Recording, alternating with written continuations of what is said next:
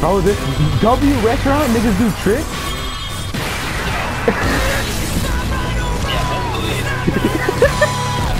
Where?